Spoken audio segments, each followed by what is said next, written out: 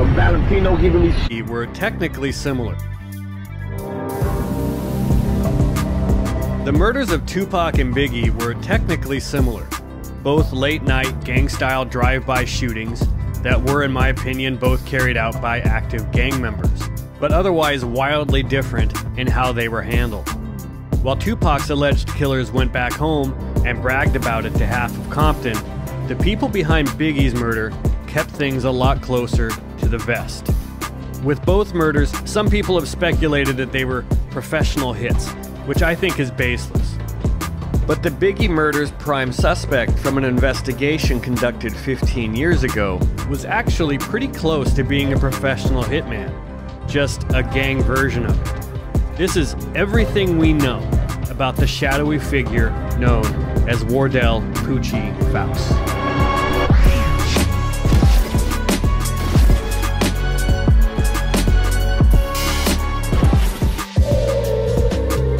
Poochie was born in Kentucky in 1960 and moved to Compton in 1972. Three years later, as a 14 year old, he allegedly committed a drive by shooting on the house of another kid. This kid here was supposedly his target, while Poochie's own stepfather drove the car. No one was injured in the shooting, but Poochie's stepdad was eventually convicted for the crime.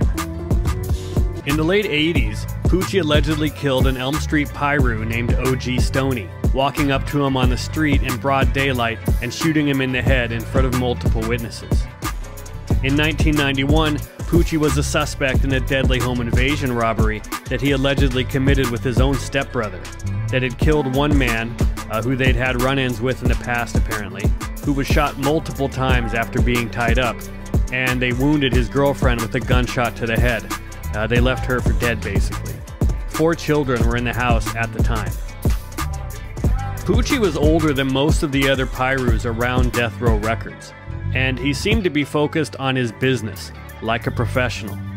He was a bit of a loner and reportedly didn't like being around Death Row, really didn't like the rappers that much, and didn't like partying with the other Pyrus around the label.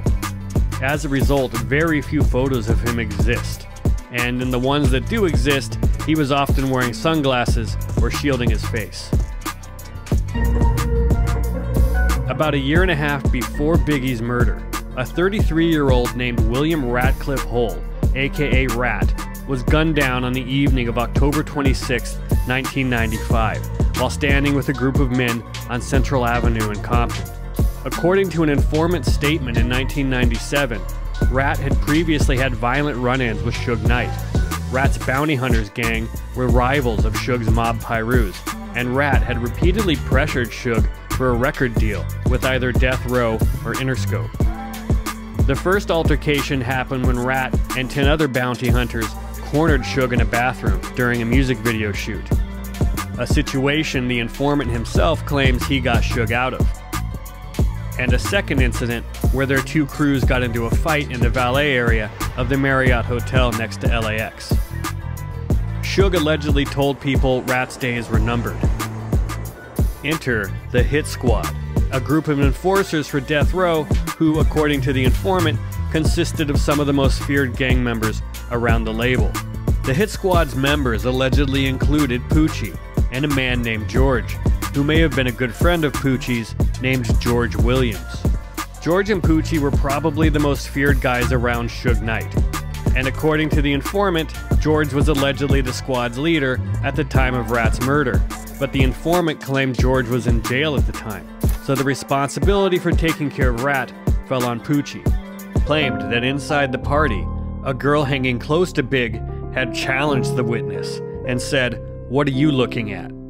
But outside in the parking garage, when everyone was leaving, that same girl suddenly approached him, acting nicely this time, and wanted to know which vehicle Biggie was in.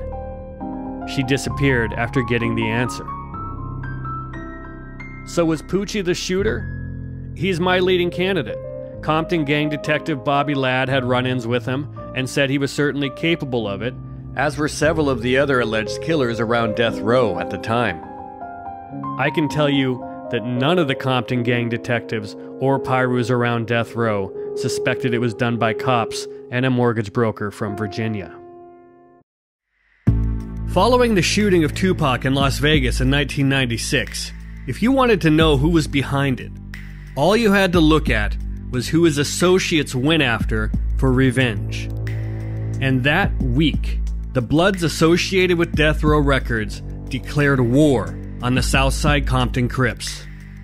If there was ever any doubt over who was responsible for Tupac's murder, this bloody street war should have immediately settled the debate.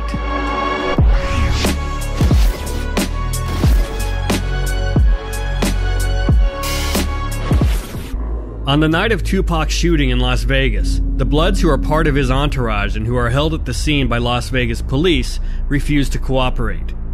They have their own justice in mind. According to a search warrant filed by Compton gang detective Tim Brennan, while still in Las Vegas, a person referred to as Trey, who was likely Travon Lane, who was there in Vegas with Tupac when he was shot, and whose beef with Southside Crip Orlando Anderson was the reason for the fight at the MGM that night, tells the Pyrus that the shooter was the same person they jumped at the MGM, and that person was Keefe D's nephew, who would be Orlando Anderson. The Pirus decide right there to retaliate against the Southside Crips, saying it's on as soon as they get back to Compton. Two days later, on September 9th, some of the alleged Bloods associated with Death Row Records meet at Lueders Park in Compton, the park associated with the Lueders Park Pirus and the Mob Piru, both allegedly aligned with Death Row Records. Some of them discuss going after Southside's OGs in general, basically planning retaliation against Southside leadership, even against individuals who weren't there when Tupac was shot. And they begin planning drive by shootings in Southside's neighborhood we, the homies, they had everybody had a meeting, said, got down together, and eh, well, we know who did it. We know Southside did it. Now retaliation is Southside. We decided, it. I mean, basically his own. They just killed Tupac. That same afternoon, this Compton gang war begins when one of the alleged Southside Crip shot callers, Darnell Brim, is shot and wounded. According to a police interview with Brim nine months later, he claims he was shot five times in the back at a 99 cent store. And he confirms that it was because of what happened in Las Vegas. Tragically, an innocent 10 year old girl is also hit when Brim is shot, and was listed in a report at the time as being in critical condition. Ironically, Brim wasn't even in Vegas when Tupac was shot, but street rumors may have erroneously placed him there. In fact, to this day, it seems like Brim is still getting unfairly associated with Tupac's murder, as he was when he was sentenced to a decade in prison on drug charges just a few years ago. This is all part of an apparent pattern with the Southside Crips, at least according to Brim. His Southside set, referred to as the Glencoe crew, and Keefe D's Southside set, who are the Burris crew, are often at odds with each other and Brim blames the other set for starting problems that his crew then has to deal with. He even says in his interview back then that he's not even friends with Keefe and that Keefe likes to talk a lot. and apparently the feeling was mutual because he says Keefe told him, You know what's going on, you don't like us, and we don't like you. Just keep it like that. So, from the Glencoe crew's perspective, the Burris crew starts problems and then leaves Glencoe to deal with it and Tupac's murder is their biggest problem yet. But all of Southside knows this is coming, so they prepare and stick to their neighborhood. It ain't like we didn't know what street they was on, but those streets was empty. They wasn't stupid. They, I mean, if they knew his own and and there's going to be retaliation, let's not hang out like this, or let's hang further back in the cut. You know what I'm saying? Nine times out of ten, when you in the car driving and you looking for something, you ain't driving like that. Cause everybody know if you're driving like that and the windows down, they gonna start shooting at you before you start shooting at them. Everybody in the neighborhood know that. So riding around looking for something, you don't see it, let's roll. An alleged delivery of weapons arrives at one of the Southsiders' houses the following day. That same day, the brother of a former Death Row Records bodyguard is shot in a drive by shooting. And a Lueders Park Piru and a second man are shot in a Lueders Park neighborhood. The suspects are believed to be Southsiders. So now the Crips are taking the fight back into blood territory. The following morning, September 11th, a man named Bobby Finch is killed in front of his home in a drive by shooting. Finch had allegedly been involved in the drug game, but was unaffiliated with the Crips and had worked as a bodyguard in clubs and supposedly for an actress on the show Martin.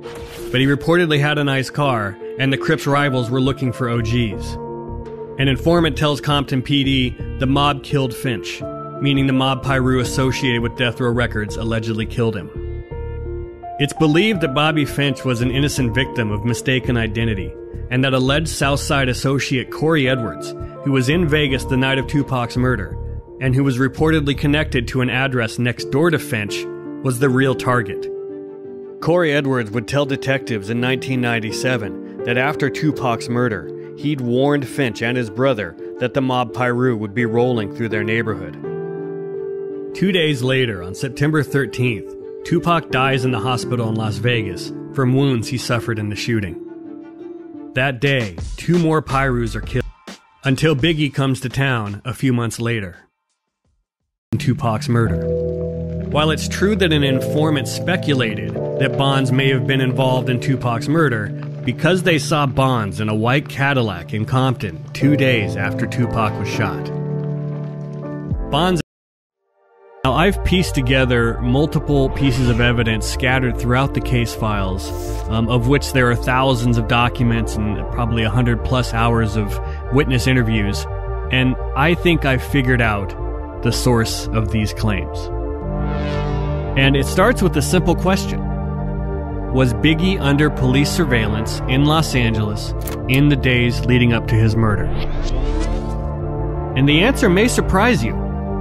Because the answer is yes.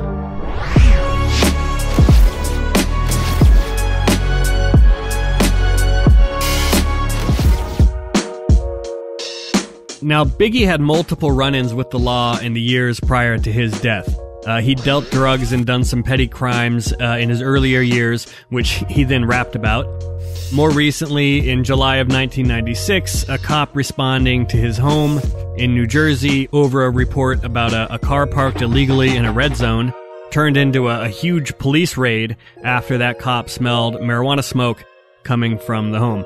That raid uncovered drugs and weapons, I mean, drugs being marijuana. There were other investigations. I don't want to rehash all of it. It's been well covered in the media over the years, and, and I don't want to seem like I'm beating up on Biggie. But for our purposes, the point is that he was on law enforcement's radar at the time of his death. So, who was in LA watching Biggie?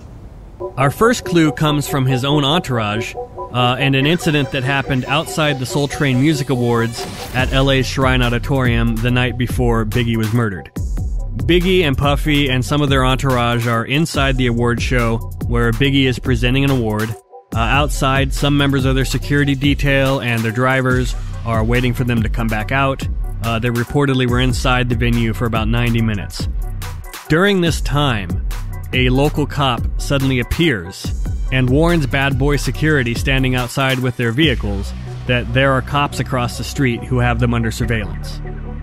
Now, when I first came across this, I thought, that seems kind of sketchy. Why would one cop rat out other cops and potentially blow their operation? It just it sounded kind of shady to me. But then I got the other side of the story. And it took some after the shooting happened to get this first tip. And then buried in the chrono for the RHD detectives who eventually took over Biggie's case a few weeks later, uh, and they, these detectives included Russell Poole, the uh, famous or infamous detective in this case, depending on your point of view. And this entry was on April 17th, 1997, so about five weeks after Biggie's murder. And here's where we learn exactly what happened outside the Shrine Auditorium during the Soul Train Music Awards. An LAPD gang detective is on duty in the South Bureau Division on the night of the award show when he gets a page from a sergeant who is on duty working overtime at the award show. This sergeant at the award show has been contacted there by an NYPD detective and an IRS agent who are working a task force outside the Shrine Auditorium. It turns out the IRS agent was a special agent with the Department of the Treasury, and the NYPD detective was named Detective Oldham, and he worked with their major case squad. So, this LAPD gang detective gets this tip from the sergeant at the award show, and he decides he's going to go down there himself to the shrine to locate these two detectives from New York and find out what's going on. Because apparently the LAPD isn't aware that there's an operation happening, or at least this guy, this detective, hasn't been made aware of it. So, this LAPD gang detective finds the detectives from New York outside the award show and he sees that they're taking surveillance photos. And when he looks to see who they're photographing, he sees Bad Boy security team waiting around their vehicles outside the venue. And he notices that some of them have bulges in their jackets, indicating that they may be armed. And then he recognizes one of them. He recognizes Inglewood police officer Reggie Blaylock. And Blaylock would end up being a witness to Biggie's murder the following night he was driving the third SUV with Bad Boy's head of security, Paul Offord, that was behind Biggie's Suburban when the shooting happened. They're the ones who chased after the shooter but lost him. So this gang detective spots Blaylock standing outside the Shrine Auditorium, recognizes him as an officer with the Inglewood Police Department. And what this detective does next inadvertently changes music history Following Biggie's murder in 1997, numerous jailhouse informants came forward with claims about who had committed the crime. And the one that would get the most attention was from an inmate named Michael Robinson, who, even though he was a schizophrenic, convicted murderer, would become the foundation of the Detective Russell Poole theory that an LAPD officer and his friend had murdered Biggie. But Michael Robinson's statement, which you will hear in this episode for yourself, has been wildly misrepresented by Russell Poole and others over the years. Even after we put segments of this interview into the Murder Rap documentary six years ago, Poole's friends and collaborators have continued to pretend that this recording doesn't even exist. And when you hear it, you'll know exactly why.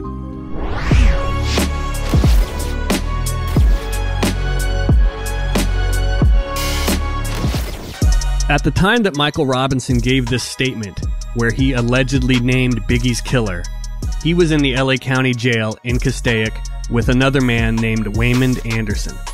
Anderson had been a singer in the 80s whose cover of My Girl for Capitol Records had been a minor hit. But then a few years later, Anderson was convicted of a 1993 arson murder for a fire in a drug den behind this apartment building near USC's campus that killed a person. Anderson got life in prison for it. And he's come forward himself with some wild tales over the years about the murders of both Tupac and Biggie, even though he'd been in jail for years by the time of the murders. Anderson would claim that Michael Robinson got some of his information from him while they were housed together in the same unit in jail. The statement given by Michael Robinson in 1997 would form the foundation for Russell Poole's entire theory that LAPD officer David Mack had conspired with a friend named Amir Muhammad to kill Biggie. Amir Muhammad was a mortgage broker living in the San Diego area at the time. He had been college friends with David Mack. When David Mack went to jail for a bank robbery, Amir Muhammad visited him in jail. And this visit combined with what Michael Robinson would say in his interview, would make Amir Muhammad Russell Poole's prime suspect for the next two decades. Without Michael Robinson, Poole's theory never exists. In April of 1997, just a few weeks after Biggie's murder, Waymond Anderson had come forward with a claim that Suge Knight had approached him in jail about the Biggie murder a claim that was later disproven by the fact that he and Suge were never together at the inmate reception center in LA like he'd claimed. Three months later, on July 10th, 1997, Michael Robinson then stepped forward and took his shot.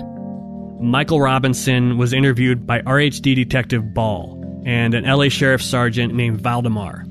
And this interview is, frankly, bananas. July 10, 1997, the time is approximately 1410 hours. My name is Detective Ted Ball, B-A-L-L. My number is 17549 from Robbery Homicide Division. This is a tape-recorded interview with Michael Robinson.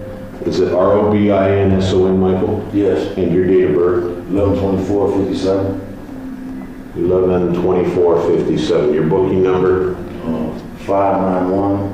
Excuse me, is it, could it be 15109? Yes, that's 019. 019. Okay, and that's what's on your wrist?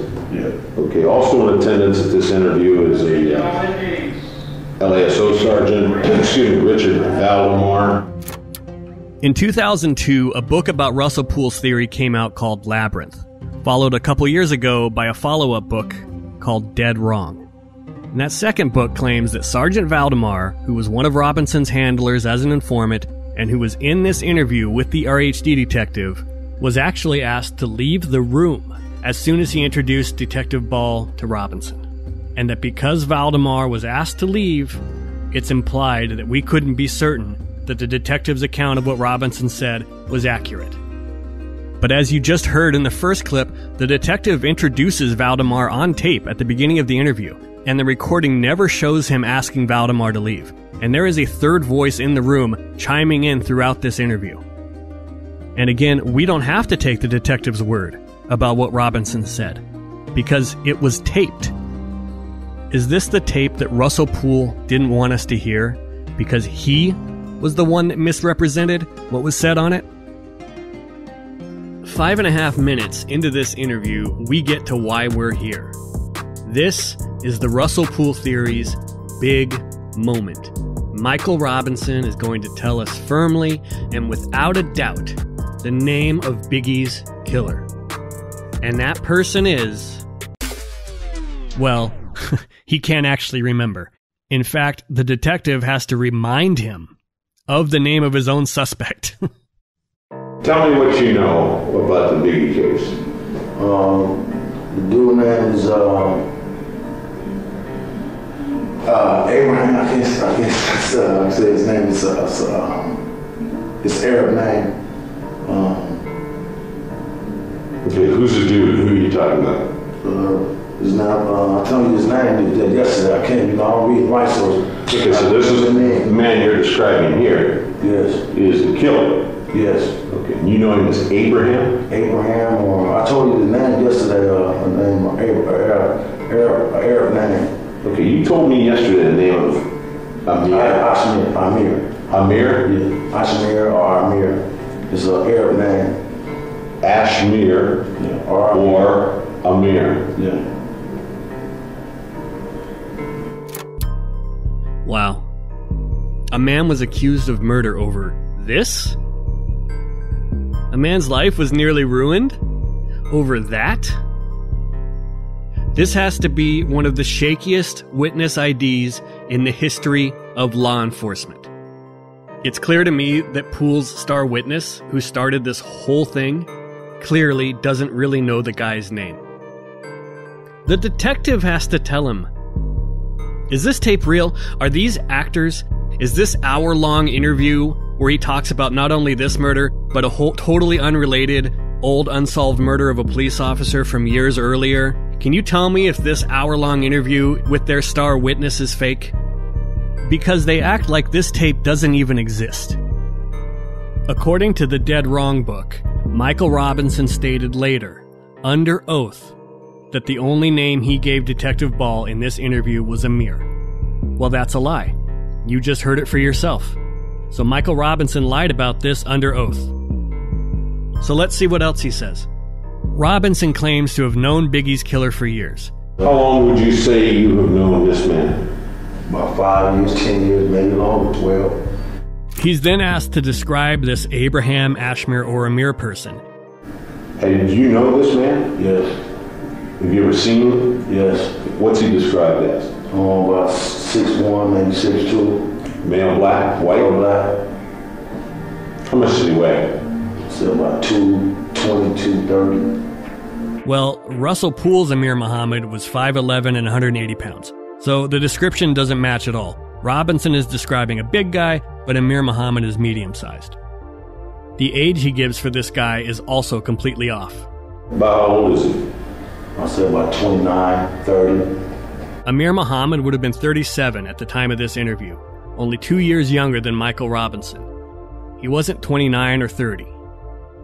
Robinson then claims that Amir lives near Greenleaf and Johnson in Compton. Do you know where he lives?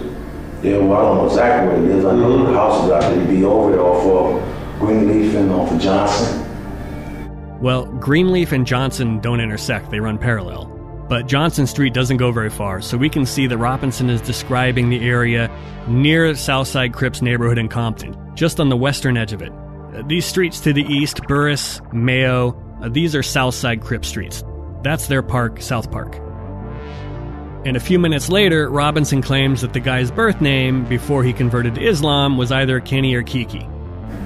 Do you know what they used to call him when he was a Southside? Might be Kenny or Kiki, Kiki or something. Kiki or something like that. I don't forgot. Kiki? Kiki, yeah. Kiki or something like that. First, he couldn't remember the guy's Muslim name, and now he can't remember the guy's birth name. Also, did you notice that the detective referred to this individual as a Southsider, meaning Southside Crip, and Robinson didn't correct him? When he was a Southside? Might be Kenny or Well, a few minutes earlier, Robinson had confirmed that the guy he's talking about was a Southside Crip. So at one point he was associated with either the Southsiders. Southsiders. Yeah. Now, Waymond Anderson would claim later that when Robinson first approached him in jail, that Robinson had overheard Anderson talking about a man named Keefe D. And Keefe D was a shot caller for the Southside Crips, so the same neighborhood that Robinson's trying to say this guy lives in. And now Robinson is telling police that he thinks the shooter's non Muslim name is either Kenny or Kiki. That sounds a lot like Keefe. Keefe's name was associated with the Biggie case from the beginning because the Southside Crips were one of the groups rumored to have been responsible, and because Keefe was at the party the night Biggie was killed and had talked to him at his table. And these rumors about the Southside Crips are all over the streets when Robinson gives this statement. So Robinson is now throwing in elements of a completely different theory into this statement by making this Amir character a Southside Crip and then confusing him with Keefe. And this right here really shows you how complicated and nuanced this case is, and how if you don't know the backgrounds of the major players, you can take a few loose details from the case files and make a really big mess of things. Regardless, whoever the shooter is, Robinson's saying he knows this guy. He's telling you that Biggie's killer is a Compton street gangster who came up in the hood. He's from Compton. That is not Amir Muhammad, who grew up in Virginia and went to college in Oregon and was married and living in the San Diego area and working as a mortgage broker. But let's keep going. So, why does Michael Robinson keep struggling to get the information right about this guy that he's supposedly known for years? Uh, I think it's because he's just repeating rumors and he's repeating nonsense that Waymond Anderson has told him. And why is he struggling to remember this information? Didn't he at least like run back to his cell and write it down so he'd remember it? Well, there's a good reason why he didn't. I don't know how to read write, so I try to remember everything was being said. 'cause I don't remember everything exactly because I don't read write. Robinson is illiterate, so he can't write it down. And I also think that Robinson slipped up here. I think he's also admitting that this statement he's making isn't based on things that he's experienced himself firsthand. I can try to remember everything was being said because I don't remember everything exactly because I don't read and write. He's admitting that because he can't read or write, this is stuff that he's had to memorize from someone else. And that's why he's having trouble. Now that I think of it, didn't we hear him use the same excuse before? That he can't remember something important because he can't read and write. When did he say that? Oh, yeah. Uh, Abraham, I can't, I can't uh, say his name. It's, uh, it's, um, it's Arab name. Um, Okay, who's the dude? Who are you talking about? uh, his name, uh, I told you his name yesterday. I can't, you know, I don't read and write, so You see what I see, right? Remember, Robinson has been asked twice now if he knew this guy, and both times he indicated yes. How long would you say you have known this man? About five years, ten years, maybe longer, twelve. And did you know this man? Yes. So then why would he need to write down the guy's name to remember it? Michael Robinson never knew a killer named Amir. He was just repeating another random name that was floating around out there. And that's why he couldn't remember the name at the top of the interview. It's not something he'd lived, it's because he couldn't write it down when he heard it. Now the detective quizzes Robinson on the details of the murder to see if he knows the basics of what happened. And Robinson fails miserably. How was Biggie killed? Uh, I heard somebody just walk by, shot him in his truck five, uh, five or six times through the door of the truck or something. How was he killed? Just heard he shot, they went by, shot by with a machine gun or something. Shot? Shot. What caliber gun? Uh, I heard a machine gun. Could have been a Woody or a Tech 9, I don't know. And so he was shot in his gun, machine gun. How did the guy get away? Did you ever hear anything about that? Then he ran around the corner and got in a, a, a limo or a truck or something, drove off and Let me ask you this, do you know where Biggie was killed? No, like I said, I don't read, no, I don't read none of that type of stuff. No. Okay. So he thinks Biggie was killed by someone on foot, which is wrong. It was a semi automatic handgun. He claims the guy got away by running around the corner and hopping into a limo or a truck. And he has no idea where Biggie was even killed, other than that it was somewhere in Los Angeles. It's possible that in July of 1997, when this interview took place, that Michael Robinson knew less about Biggie's murder than just about anybody in the United States. So this is the guy who cracks the case open for Russell Poole? This guy? And Robinson wasn't the only jailhouse informant coming forward with bad information in the weeks and months following Biggie's murder. According to Kelly Cooper, an LAPD detective who originally worked the case for Wilshire Division, tons of inmates were coming forward with bogus information. We were getting phone calls for all kind of inmates who had all the answers to everything. They witnessed all the days in prison. They knew everything. I don't care if the informers, the inmates, or whatever, they got access to the media. And a big case like this, everybody's watching this. So now you got to run over there and inter- interview this inmate who just got information from the media. So you, you run in circles. But once you realize what he said is, is, is garbage, it's garbage. Just let it go. You don't pursue garbage. You're wasting your time. Now let's rewind and get back to this limo that Robinson claims the shooter escaped in. In his description of this Ashmir or Amir person, Robinson claims that the guy is known for cruising around Compton in a white stretch limo. Do you know what kind of car that uh, this Ashmir drives? White, white stretch limo. In fact, after saying that he thought the shooter escaped in a limo, the detective asked Robinson if he's just saying that because he knows this guy drives around in one. And Robinson admits that, yeah, he just made that up, that the guy escaped in a limo because the guy he's thinking of drives one. You know, think back, once you think back, Michael, if there's any specific car that anybody that you've talked to has told you that the guy got into? Or are you just thinking that it might be a limo because you know this Ashmir has a limo? I'm thinking it might be a limo, but do have a limo. So, there was a well known figure in Compton at this time named Stutterbox.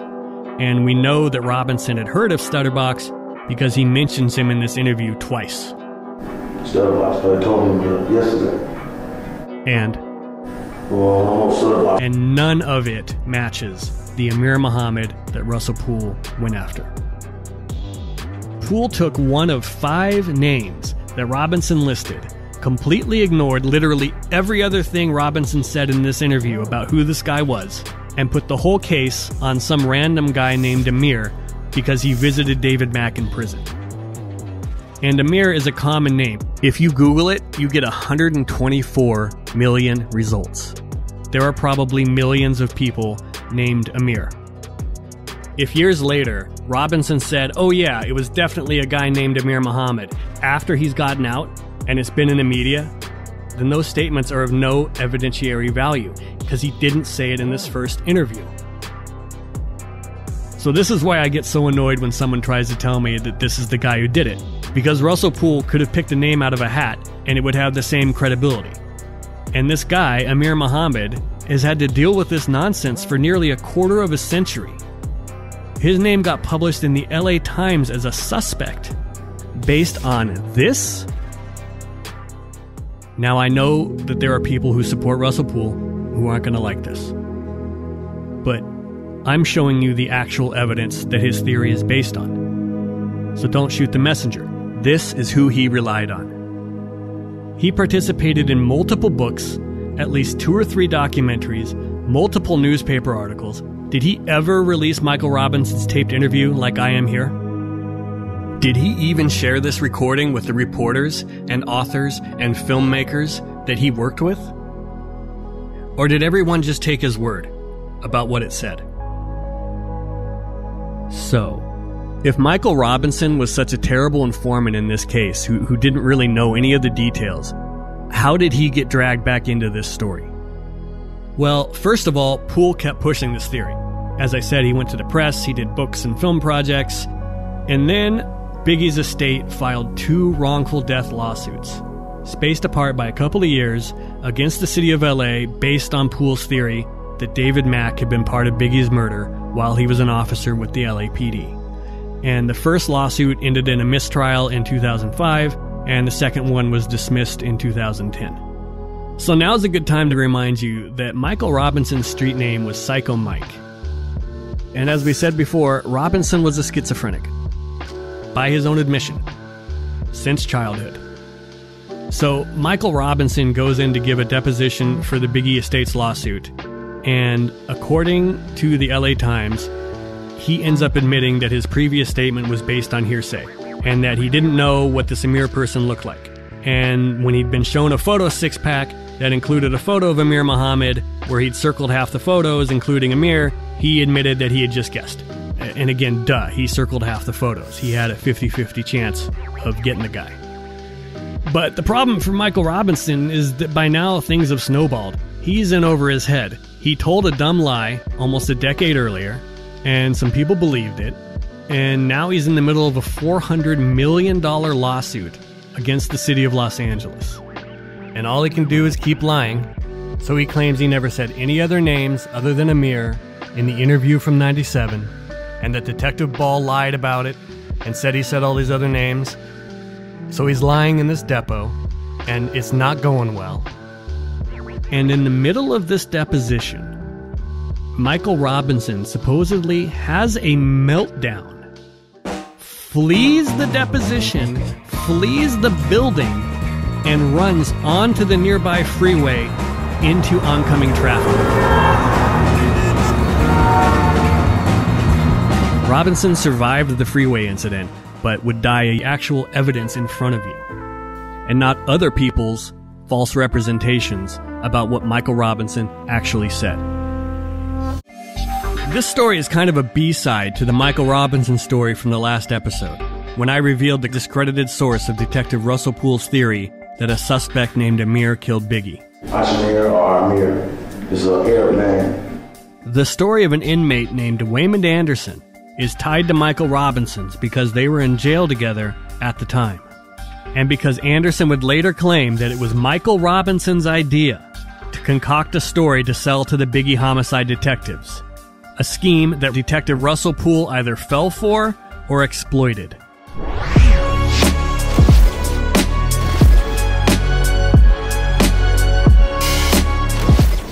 Waymond Anderson first achieved notoriety as an R&B singer in the 80s named Suave.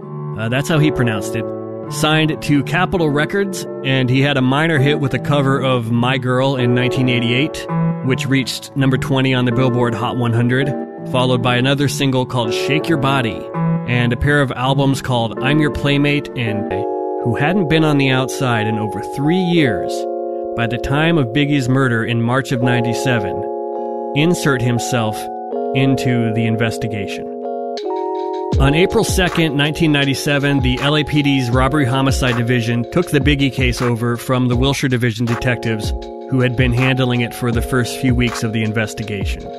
Just two days later, Wilshire Division forwarded a tip to the RHD detectives that an inmate named Waymond Anderson was claiming that he was personally approached by Suge Knight in jail to help kill Biggie Smalls. Now, despite the fact that it's completely ridiculous that Suge Knight would approach a random inmate facing life in prison to help them find weapons to commit a murder on the outside, especially a guy who hadn't breathed free air in over three years by this point, the RHD detectives still spring into action. It's a potential witness, and they have to investigate. So within minutes of receiving the tip, they request a polygraph of Anderson, and they send two detectives down to transfer him to Parker Center for a few days to interview him. The following day, Anderson is given the polygraph test, which he fails. As one detective interviewing him years later would put it, he failed miserably. So for Anderson, the failed polygraph is strike one. A couple days later, the two detectives who are working with Anderson at Parker Center, who have now conducted multiple interviews with him, report that they aren't sure he's being truthful. So, like the polygraph machine, the detectives aren't really buying what Anderson is saying. That's strike two. And then Anderson's story gets a dagger through the heart. The basis for his story was that he and Suge Knight had briefly been held together at the inmate reception center while waiting for a court appearance. So, according to Waymond Anderson, he and Suge are in this holding tank when Suge allegedly asks him for his help. And they were only together for about half an hour. So, this is a very narrow window of time when this very improbable conversation could have happened. So, one of the RHD detectives asks a deputy at the county jail to see if Anderson and Suge went to court on the same day. They're like, hey, uh, this might be a stupid question, but uh, is what he's saying even possible? And on April 16th, the deputy gets back to the detective and says that Anderson went to court on February 4th, 1997, but Suge didn't go to court until February 28th. That's 24 days apart. According to the deputy, there is no way that they could have been together. So within just 12 days of first hearing from Waymond Anderson, the RHD investigation is done with him. He's failed a polygraph and now his claim about talking to Suge has been proven impossible. Five years later, in 2002, Waymond Anderson filed a personnel complaint against four LAPD officers, including Rafael Perez and David Mack. By this time, Poole's theory had been covered in the media for years. In fact, the report for this complaint by Anderson was dated December 20th, 2002, three months after Nick Broomfield's documentary Biggie and Tupac was released, starring Russell Poole and his theory, and pointing the finger at David Mack and Rafael Perez. And now Anderson suddenly remembers all kinds of crimes that he claims he witnessed David Mack and Rafael Perez committing a decade earlier. He even throws in an accusation that Perez had threatened him not to talk about Biggie's murder. Just like the claim that Suge approached him about Biggie's murder in 1997, if there is a conspiracy theory, Anderson claims he was right in the middle of it, even if it doesn't make any sense. Anderson's personnel complaint against Mack and Perez and the two others goes nowhere, with all of his accusations being ruled as insufficient evidence or unfounded. But Anderson still wasn't done with this case yet. It's 2007, and the Biggie estate has refiled their massive wrongful death lawsuit against the city of LA, claiming that LAPD cops were involved in Biggie's murder. Two years earlier, Robinson had had his deposition meltdown where he fled the building and ran onto a busy freeway. But Anderson's deposition is conducted at Corcoran State Prison, where running out of the building and into traffic isn't really an option. So he does the next best thing he denies everything he's previously said about Rafael Perez and David Mack. Just like Michael Robinson, Waymond Anderson recants. In this deposition, Anderson also claims that Michael Robinson was a paid informant for the FBI and the LA Sheriff's Department. And Anderson would claim that Robinson approached him because Robinson needed something new to give his FBI handler so he could keep getting paid. That he was supposed to bring them something once a month but now he was in a jam because he was in jail. In other words, it's hard to be a street dope informant if you're no longer on the street. Going to jail had essentially hurt Michael Robinson's informant side business, and he needed something new. And Anderson claimed that it was Robinson's idea for him to contact the Biggie detectives. And if he gave information to the LAPD about the Biggie case, that Robinson would get credit for it and get his money. Now, it's very difficult to know when to trust what Anderson is saying. Anderson claimed in this 2007 deposition that at one point he was under what he referred to as a 90 day observation at what he called Patton, which is a state hospital in San Bernardino. The LA Times would report that he'd been sent there after experiencing a mental breakdown and that he'd been deemed mentally incompetent for a period. And Michael Robinson was a schizophrenic. So, aren't these some interesting witnesses being used to support Poole's theory? So, I don't know if the story about Robinson approaching Anderson in jail and the financial motive for him doing so is 100% true or 5% true. But we do know that Anderson and Robinson were housed together at the LA County Jail in Castaic. We know that because of this jail visitor log that shows them both housed in the same unit. And because Waymond Anderson confirmed it and even described Robinson as his neighbor. And we do know that Robinson was an informant for the FBI and the LA Sheriff's Department, just like Anderson claimed. And Robinson had admitted previously that he had been paid for information in the past. So have you, uh, in the past, have you received compensation for various parts of your information? Well, In the on past? Streets? Yeah, I wasn't in custody or anything. Stuff you're in- on the street, Yes. and you've supplied information in exchange for uh, They money? gave me money, yes. Okay. So I think there's definitely at least an element of truth to Anderson's claims that it was Robinson's idea for him to meet with the detectives investigating Biggie's murder. And I believe it, because as we know from the last episode, just three months after Anderson swung and missed in 97, Robinson himself went to the Biggie detectives claiming he had information about Biggie's murder. And I don't think it's a coincidence that Waymond Anderson was dropping names like Keith Davis, aka Keffe D, and the Southside Crips. And then Robinson went and told detectives the killer was a Southside Crip named Kiki. Do you know what they used to call him when he was a south side? Might be Kenny or Kiki, Kiki or something, Kiki or something like that. I, I forgot. Kiki? Kiki, yeah, Kiki or something like that. Robinson was just repeating nonsense that he heard from people like Anderson. And then Russell Poole just conveniently ignored almost all of it in his race to accuse Amir Muhammad. It's not unusual for inmates to conspire to try to trick law enforcement into believing a made up story. They agree on what it is they're going to say, and then they back each other up in their interviews with detectives to make the story seem credible, because the same story is coming from multiple sources. So, how did Anderson end up associated with this case years later if he was dismissed so quickly back in 1997? Well, like Robinson, Waymond Anderson found himself as a witness for the Biggie Estates lawsuit against the city of LA a decade later. And, also like Michael Robinson, this would not go well. Anderson starts denying everything he said previously about cops being responsible for Biggie's murder. In this deposition, Anderson cleans up a lot of his previous statements and admits that he's been lying, but then he also launches into whole new wild claims. And the only time that I really believe him is when he's admitting that he's been lying. But here are some of the highlights. He claims that he and Robinson concocted a story in jail together and that it was Robinson's idea for Anderson to claim that he and Suge had met in person in the holding facility. And he says when he accused David Mack and Rafael Perez of committing crimes, that he'd used real crimes as examples, but then inserted their names into the stories. He also says that David Mack and Rafael Perez, quote, have nothing to do with this case. They had no involvement with the Biggie murder, none at all. And when they ask him if he has any information on Mack or Perez being involved in Biggie's murder, he responds, I have information about them not being involved in the Wallace murder. No LAPD officer was involved with the Wallace murder. It was a lie, and I'm ashamed of it.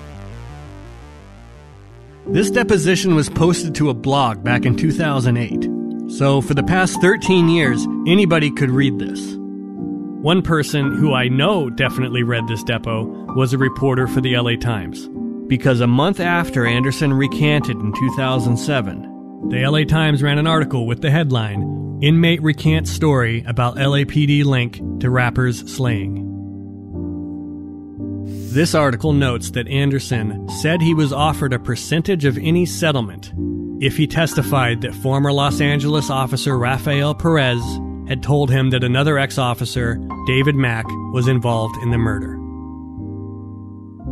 For their part, the estate's attorneys denied making any kind of offer to Anderson, stating that his allegations were 100% demonstrably false.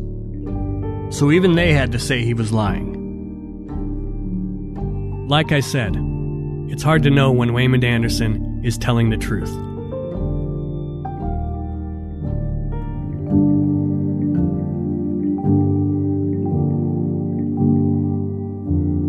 doing. You know, I talked to him and, and uh, you know, I, I didn't think he was gonna come, but he came. Surprised the shit out of me. He said Snoop kicked him out, then he came to the hospital. Snoop never came to the hospital. You know? Because number one, Warren did a thing where he was on the talking, whatever the shit they be doing out there, and he said that Snoop had a radio. He was at Snoop House when the shit happened. He walk out. I got a Rolls Royce. He got a Rolls Royce. He walked down the steps. I walked down the steps. We meet right here. I'm like, cuz, you going to Vegas? He do me like this. Mm. Went his way and he went my way. Next time I get a call, you know, niggas like, turn on the news, turn on the news, guys. I'm at Warren G house. We turn on the news, we see yellow tape, Suge BMW. Mm-hmm. Call Suge, he like, yeah, they whoop de whoop, come on out here now. Drive out there. Right after I heard Tupac got shot, I immediately flew to Vegas. Drive out there. I see him in the bed. Laid up, no words, no conversation. I see Jesse Jackson, his mama. I heard a horn, bing, bing, bing, honking in front of my house. I looked out the house and Snoop was outside in a uh, a white motherfucking Rolls Royce. Then he had this the the, the next tail back there. Remember the motherfucker? Yeah, yeah, yeah, yeah, yeah. He had the motherfucker could go that whatever it was, it was hitting him all the way from what was going on from Vegas. And then he started getting calls and shit, and they was telling him that Tupac got shot and da da da da da this, that, and this. Only way you have a radio if you was at the fight with us and you had a security detail. By not having a security detail, Tyson. what are you doing with the radio? Two, we always go to the fight together. We always go to the club together. Even when they did that half-ass watered down movie on Pot, and he said, you're gonna be at the fight?" and all that type of shit. so then all of a sudden, Warren says on this thing where they listen to the radio and they hear the gunshots. And basically somebody told them we got them or they got shot or all this shit. So how would you know that? Why would you have a play-by-play on the radio? I kicked everybody out. Get the fuck out of here, everybody. Get out of here. And then he took off. That's when he went to Vegas to mm-hmm. go see him. And that's when he went out there when he went to the hospital. But I had, if I wouldn't have talked to him and, and, and got him to come over to my house, he probably would have been right there in the car with them. He said Snoop kicked him out, then he came to the hospital. Snoop never came to the hospital, period. Then, Daz was on some other shit. I really hate bringing up Daz because I take mental health serious, and I know he got mental problems, but Daz was on a situation saying that Snoop told him they can't go to the fight, can't go to the club, can't go to Vegas. It's going to fuck shit up because something will happen, basically. Were you in Vegas? No, we heard about it because they was trying to get us to go to Vegas, and we was like, Dog Pound. We was really on our fuck death row shit, really. You know what I'm saying? We was At- already saying, we was already saying fuck death row. Um, Dad was like, no, I'm not going to that shit. You want to roll with them? You going, it's going to be all the bloods there and blah, blah, blah, and none of the homies are going to be there. And I was like, dang, I didn't really think of it like that. I don't really feel uncomfortable, but now that you're saying like that, he's like, Snoop ain't going. Like, why would you want to roll? Why we don't roll like that? You roll, you roll with Death Row when the homies roll. And I was like, you right. So I ran back over there and I told Pac, like, Pac, I probably ain't gonna be able to roll. That's one thing. Being badass to an interview, and you know, Pac being Pac, Pac was a real, real, real good motherfucker about getting everybody involved. So he seen Bad Azz. Badass told a story. He said, "Damn, what you doing?" He said, "Well, they ain't putting me on that." He said, "Come on, I'll put you on the song." So he put Bad Azz on, smuggling on uh, on one of the songs, which blew Bad Azz up. Not only did Pac put him on the song, Pac said, "Man, I'm gonna let you. I'm you go to the fight with me." So Pac was like, um, I, "You can go to the fight with me. After the fight, we going to the club." He said that Daz told him well, you can't go, something's gonna happen, basically Pac or me, whoever, you go, it's gonna fuck shit up. He stated that he was living with his mother and living with Daz, so he had to listen to Daz and not go to the fight. So I ran back over there and I told Pac, like, Pac, I probably ain't gonna be able to roll. And he was like, that's what's up? He was like, well, you know, well, I can't, like we said, we said our goodbyes and that was the last time I ever seen him or talked to him in life. Now, if all these people knew what was going on in the situation, nobody never commented or tell anybody that. So you're part of it. You part of that snake, you know what happened to snake, snake, snake. So the other situation is that even after this shit, a motherfucker was with Keffe D, according to Keffe D and everybody else, and everybody this, street this, I was locked up. But Snoop, Daz, and the rest of them, they did a song with one of the niggas from that from that side who was in the car. If that's Louis the Pac, shit, motherfuckers don't need that type of loyalty.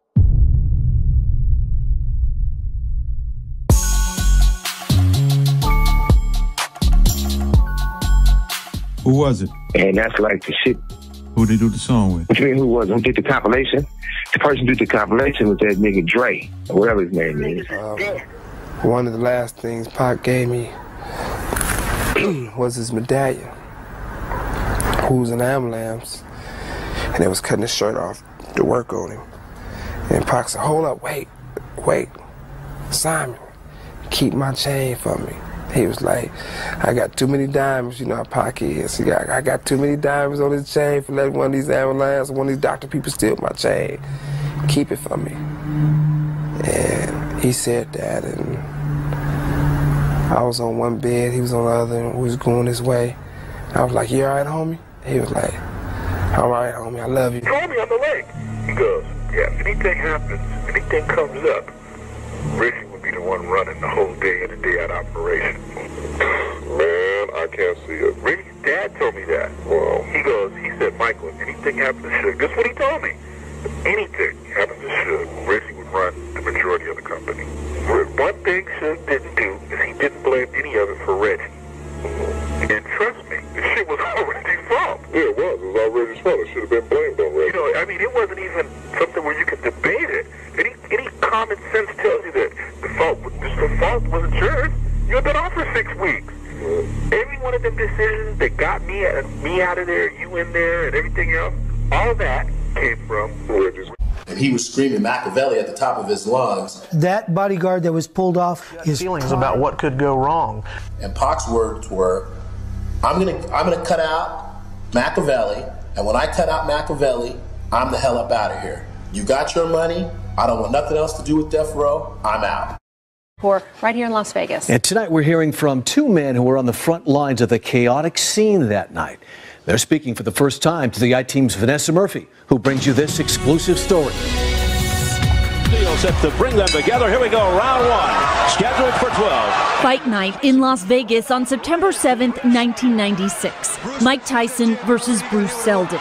But violence erupted. A lot of chaos, a lot of cop cars. Just as we went, we started looking at each other to decide what we were doing. Metro told the man they were waving us to come in. And then exiting their ambulance. Somebody met me at the back and said, "Go help my buddy." And in my buddy's my buddy shot in the car. So I Right, which ended up being Suge Knight. Whole car, it had was riddled with bullet holes. Death Row Records co-founder Suge Knight was the driver of the BMW Shakur was gunned down in. We brought the gurney We brought- up over, just pulled them out. mm-hmm, pulled him out, um, and that's when, you know, that's when I everybody was yelling um, Tupac, Tupac, and I leaned over to the cop and I'm, I, you know, I, I go, this guy has the same nickname as that rapper. and the cop, you know, looked at me and leaned over and was like, "This is him." Then a second patient. We got word from PD um, that there was another guy that was shot in the head. Jim and I, I believe, you no, they they walked him over to the ambulance. He got in, and it was ended up being Suge Knight who was grazed on the head. He wanted us to make sure that we took care of Tupac before him. And then, with three Metro police officers inside their ambulance and a police escort, not typical protocol, a ride to University Medical Center, followed by Jim telling Shane who their patient was. I listen to country music. I never heard of Tupac Shakur. So, so it it didn't register to me. But soon after, flashing police lights quickly replaced the bright lights of the Las Vegas Strip. News reports, vigils, and more help put it all into perspective. You were rooting for him. Some cases uh, at a standstill. We've learned some people who may have been witnesses or somehow connected to the murder are deceased. Bad Azz said Nate Dogg called California, called him Daz Snoop, and said Tupac and Tupac and Sugar dead. Suge just left in the ambulance and Pac left in the helicopter. Thursday night or Friday morning.